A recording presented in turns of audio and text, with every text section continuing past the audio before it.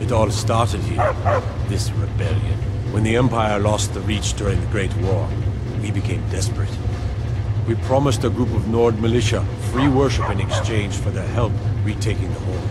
Then the elves found out about it. We were forced to arrest all of them. Ulfric Stormcloak, their leader, used the whole thing as proof that the Empire had abandoned Skyrim. The rebels called it the Markarth Incident. It was the founding day for the Stormcloaks, and where this war really started.